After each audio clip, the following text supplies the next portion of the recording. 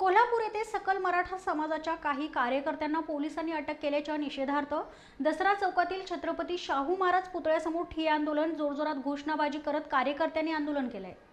आणि म्हणून त्याला दडपशाहीची भूमिका घेतली. आणि तो दडपशाहीची भूमिका घेतला असेल तर हा समाज आमचा गम असणार नाही प्रत्येक ठिकाणी आमचं आंदोलन असतं. त्याला लक्षात घ्या. प्रत्येक तालुका आंदोलन चालू राहणार. आणि लक्षात घेत तुला हे सांगून ठेवतो. ទេគ្រប់រំសាអា ন্দোलन